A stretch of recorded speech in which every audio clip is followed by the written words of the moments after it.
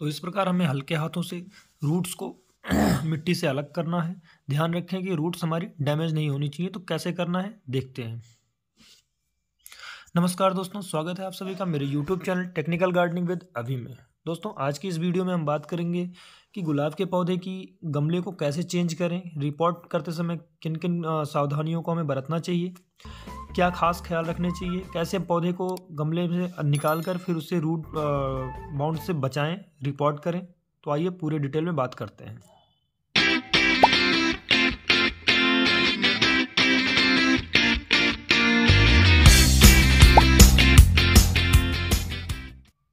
स्वागत है आप सभी का मेरे नए वीडियो में। दोस्तों, ये मेरा गुलाब का पौधा है। देखिए, इसमें फ्लावर्स आ तो रहे थे, पर वो पूरी तरह से खिल नहीं पा रहे थे।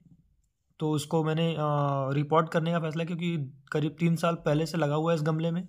तो इसमें रूट बाउंड बहुत ज़्यादा हो गई हैं। इस वजह से इसकी ग्रोथ नेचुरल तरीके से हो नहीं पा रही है। तो इसकी काट छाट हम करते रहते हैं। इसको रिपोर्टिंग करने से पहले जो सबसे ज़रूरी चीज़ है आपको, कम से कम दो दिन पहले से इसमें वाटरिंग करना बंद कर देना है। मिट्टी पूरी तरह से ड्राई होनी चाहिए।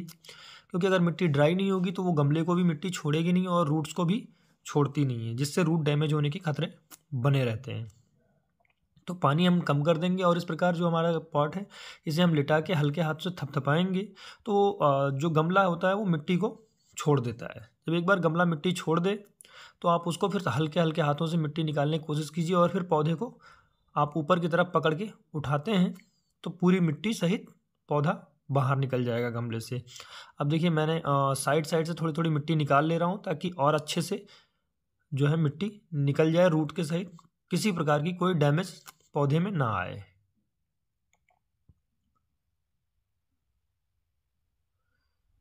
ये देखिए, हल्के हाथों से हमने बाहर निकालने की कोशिश की और पौधा निकल आया।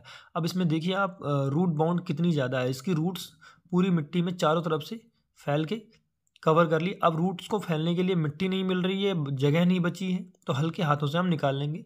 ये ठीकरा जो नीचे हमने ड्रेनेज होल पे रखा हुआ था देखिए बहुत सावधानी के साथ रूट से मिट्टी को हमें अलग करना है। क्योंकि मिट्टी पूरी ड्राई है पौधे देखिए पौधे पे भी कुछ असर पड़ा है इसका तो हमारा पौधा भी थोड़ा ड्राई हो गया है। तो इससे कोई फ़र्क नहीं पड़ता दोस्तों आपको आ, इस प्रकार से मिट्टी ड्राई है तो रूट्स को बहुत आसानी से मिट्टी छोड़ देगी। तो सारी आ, मिट्टी हम इसमें से निकाल लेंगे और बहुत ही सावधानी से निकालेंगे क्योंकि रूट डैमेज होएगी तो पौधा फिर आगे सर्वाइव करना थोड़ा मुश्किल होता है। तो इस प्रकार हम इसे सारी मिट्टी इस रूट से बाहर निकाल लेंगे, हल्के हाथों से। ऊपर की भी मिट्टी चारों तरफ़ से हम निकाल लेंगे, उसके बाद हम हल्की हल्की रूट की प्रूनिंग करेंगे। दोस्तों, मैं फिर से आपसे एक बार रिक्वेस्ट करता हूँ कि अगर आप चैनल पर नए हैं और अभी तक वीडियो को सब्सक्राइब चैनल को सब्सक्राइब नहीं किया है तो प्लीज़ इसे सब्सक्राइब ज़रूर कर लें और बेल आइकन प्रेस कर दें, ताकि आगे आने वाली वीडियो के नोटिफिकेशन आपको आसानी से मिलती रहें।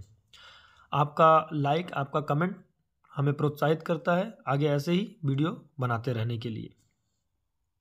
तो ये देखिए जो इसकी मेन रूट्स हैं, ये देखिए कितनी चारों तरफ़ राउंड में फैल चुकी थी ये, जिनकी वजह से इसमें ग्रोथ रुक गई थी, क्योंकि अब मिट्टी में न्यूट्रिएंट्स बचे नहीं थे, जिसे रूट से ये ग्रहण करें और पौधे को पोषक तत्वों की पूर्णता, भरपूर मात्रा में मिल पाए।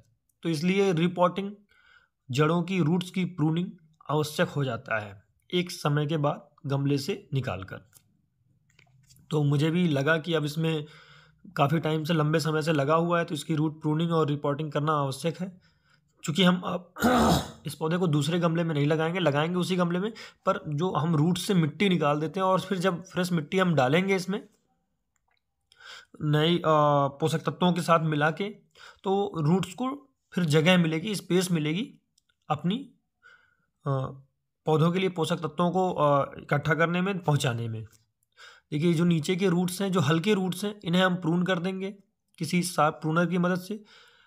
जो प्रूनर्स की हम जो नीचे, देखिए एक्स्ट्रा जो रूट बाउंड वाली रूट्स हैं ना, उन्हें हम निकाल देंगे। सारे रूट्स नहीं हम प्रून करेंगे, क्योंकि सारे रूट्स प्रून करेंगे तो पौधा जो है शॉक शॉक में चला जाएगा सर्वाइव करना। थोड़ा हार्ड होता है सर्वाइव तो कर जाएगा पर थोड़ा हार्ड होता है। तो हमें आ, सिर्फ़ उन्हीं रूट्स को हटानी है जो हल्की आ, नीचे की जो आप ब्लैक रूट्स देख लें या फिर जो डैमेज रूट्स दिखें जो एक्स्ट्रा निकली हुई हैं उनको हम प्रून कर देंगे।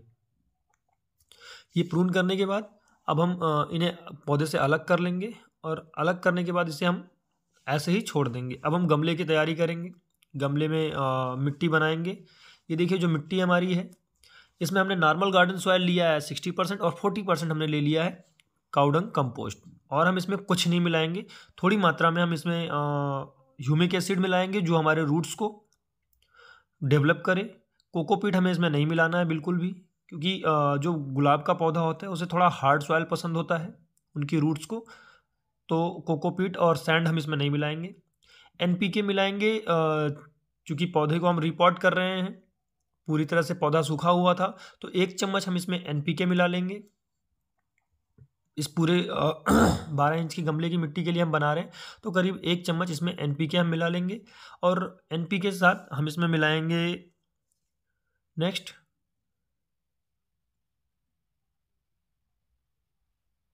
बोन मिल इसमें हम बोन मिल डालेंगे, एक मुट्ठी के करीब आसपास बोन मिल क्योंकि जो हम गोबर की खाद डाल रहे हैं, उस मिट्टी में मिला रहे हैं, उसके साथ हमें कुछ ये ट्रेस एलिमेंट्स को बढ़ाने के लिए, जो मित्र जीवाणु होते हैं, उनको बढ़ाने के लिए हमें कुछ चीज़ें चाहिए होती हैं, जिसमें ये तीसरा हम ह्यूमिक एसिड मिला रहे हैं।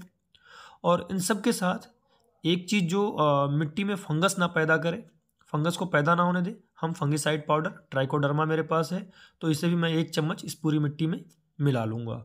जिससे कि रूट्स में न्यू डेवलपमेंट्स में किसी भी तरह की कोई फंगस की ग्रोथ ना हो पाए रूट्स डैमेज ना हो। तो ये चारों चीज़ें मिलाने के बाद हम मिट्टी को अच्छे से मिला लेंगे और मिला के फिर हम उस गमले में भरेंगे इस मिट्टी को। ये दोस्तों जो हमने चीज़ें अलग से मिलाई हैं, इनका सिर्फ़ एक ही काम है कि ये मिट्टी को बूस्ट करें रिचार्ज करें। हमने गोबर की खाद मिलाई हुई है, उसके साथ ये ह्यूमिक एसिड इसलिए क्योंकि वो जड़ों को अच्छे से बढ़ाने में बहुत ही सहायक होती है। तो ये सारी चीज़ें मिलाने के बाद अब हम देखिए गमला हमारा पुराना गमला है, इसी गमले में हम फिर से मिट्टी डालेंगे। तो जो ड्रेनेज होल है उसे हम बंद कर देंगे किसी ठीकरे की मदद से। जो हमारा ठीकरा निकला था उसी ठीकरे से हम देखिए इसको बंद कर रहे हैं।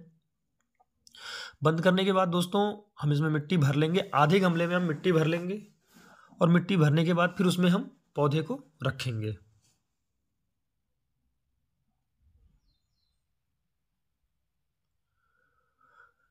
दोस्तों, मैं पहले भी बता चुका हूँ आपको कि गुलाब के लिए जो होता है वो सैंडी सॉयल या काफ़ी पोरस मिट्टी नहीं चाहिए होती है गुलाब को। थोड़ी हार्डी सॉयल्स इसको पसंद होती हैं, क्योंकि ये कह लीजिए कि थोड़ा पहाड़ों पे उगने वाला ज़्यादा पौधा है ये। तो इसलिए इसमें हम जो इसकी मिट्टी तैयार करते हैं, थोड़ी हार्ड रहनी चाहिए। बहुत ज़्यादा कोकोपीट या सैंड मिला के नहीं बनाते। तो उसमें इसकी ग्रोथ अच्छी होती है। हो तो कैसी भी मिट्टी आप बनाओगे, बहुत ही ईजी टू ग्रो पौधा है। तो ग्रोथ ये हर जगह अपनी मैनेज कर लेता है, इसको मिल जाती है ग्रोथ पर थोड़ी हार्ड सॉयल में ज़्यादा अच्छा ग्रोथ इसको मिलता है, जो मेरा एक्सपीरियंस है। मेरे सारे पौधे को मैं ऐसी ही मिट्टी देता हूँ तो मैं वैसी ही मिट्टी इसके लिए भी बना रहा हूँ। और मेरे सारे पौधे गुलाब के काफ़ी अच्छे चल रहे हैं और काफ़ी अच्छी फ्लावरिंग उनमें हो भी रही है। तो इस प्रकार हम इसे भर लेंगे मिट्टी को और हल्के हाथों से प्रेस कर देंगे कि इसमें कोई भी एयरपॉट्स ना रह जाए। अगर कोई दिक्कत तब होती है दोस्तों जब मिट्टी हम भरते हैं और रूट्स के पास एयर पॉट्स बन जाते हैं, एयर बबल बन जाते हैं तो फिर रूट्स जो है ग्रो नहीं कर पाती हैं अच्छे से। तो इन्हें हम हल्के हाथों से दबा लेंगे और दबाने के बाद इसमें हम कर देंगे अच्छे से वाटरिंग जब फ़र्स्ट टाइम हम वाटरिंग करते हैं तो इतना ख्याल रखना है कि गमले की पूरी मिट्टी गीली होनी चाहिए वाटरिंग करते समय। तो हम इसमें वाटरिंग करेंगे अब। ये हो गया, मिट्टी हमारी गुलाब लग के तैयार हो गया। देखिए जो ग्राफ्टिंग पोर्शन होता है, हम किसी भी पौधे का, उसे हमें मिट्टी से करीब एक डेढ़ इंच ऊपर रखना होता है। तो मिट्टी में हमारा ग्राफ्टिंग जो पोर्शन होता है, मिट्टी के अंदर हमें नहीं दबाना है। ग्राफ्टिंग पोर्शन को मिट्टी से ऊपर रखना और उस चीज़ों को ख्याल रखते हुए हम पौधे को देखिए सेट कर दिए हैं और वाटरिंग कर दिए हैं। एक बार वाटरिंग करने पे जो पानी हम चूँकि थोड़ी अभी नई मिट्टी हमने बनाई है तो पानी सतह पे थोड़ी टिकती है। तो वेट करेंगे और पानी जब नीचे मिट्टी सोख लेगी तो दोबारा फिर से हम गमले को पूरी तरह से भर देंगे और भरने के बाद इसे हम डायरेक्ट नहीं इनडायरेक्ट सनलाइट में मतलब रोशनी में रखेंगे, उजाले में रखेंगे, पर जहाँ डायरेक्ट धूप ना आती हो छाएदार प्लेस पे हम इसे रख देंगे करीब तीन दिन के लिए और तीन दिन बाद फिर इसे हम डायरेक्ट सनलाइट में निकाल कर रख देंगे। तो दोस्तों, अगर वीडियो पसंद आई हो, जानकारी अच्छी लगी हो तो चैनल को सब्सक्राइब करें, वीडियो को लाइक करें और अपना कमेंट ज़रूर दें हमें। धन्यवाद।